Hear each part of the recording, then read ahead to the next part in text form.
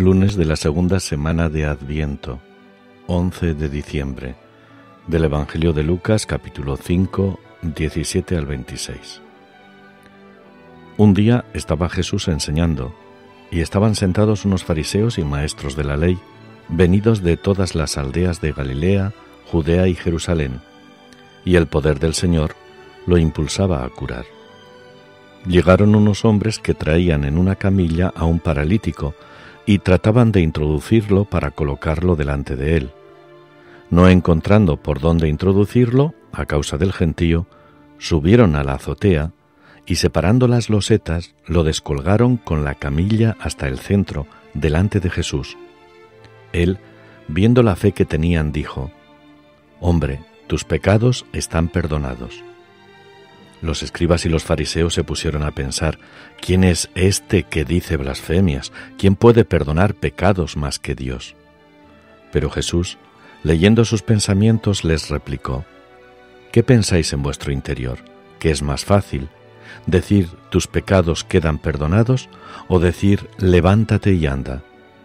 Pues para que veáis que el Hijo del Hombre tiene poder en la tierra para perdonar pecados, dijo al paralítico, a ti te lo digo, ponte en pie, toma tu camilla y vete a tu casa. Él, levantándose al punto, a la vista de ellos, tomó la camilla donde estaba tendido y se marchó a su casa, dando gloria a Dios. Todos quedaron asombrados y daban gloria a Dios diciendo llenos de temor, Hoy hemos visto cosas admirables.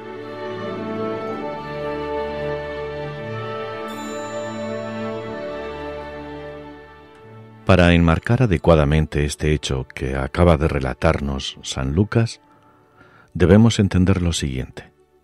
En las religiones más antiguas de Oriente existía la creencia de que la enfermedad y el dolor eran consecuencias del pecado. Esta idea fue asumida por los israelitas, y así nos encontramos a menudo con afirmaciones parecidas de parte de los fariseos. Jesús viene a romper esta creencia. Y lo hace con la autoridad propia del Hijo de Dios. Dicen los fariseos, ¿quién puede perdonar los pecados? Solo Dios.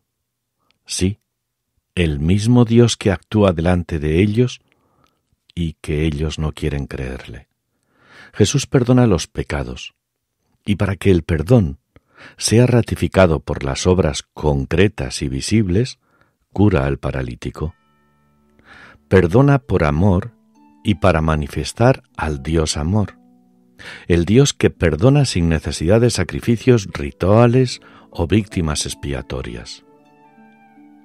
Hoy, nosotros podríamos contemplar este Evangelio como, como espectadores y protagonistas, es decir, adentrarnos en la escena a través de uno de los personajes que aparecen, por ejemplo el paralítico o sus amigos que le llevan ante Jesús, o los fariseos que están a ver qué dice o hace Jesús, el pueblo que se asombra y alaba a Dios, o el pueblo cobarde que primero mira la reacción de los fariseos para luego ellos copiar sus actitudes, o quizá algún familiar del paralítico.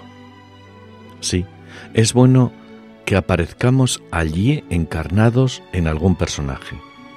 Así podremos descubrir sus sentimientos, palabras, silencios, miradas. A mí personalmente me gustaría ser uno de los camilleros.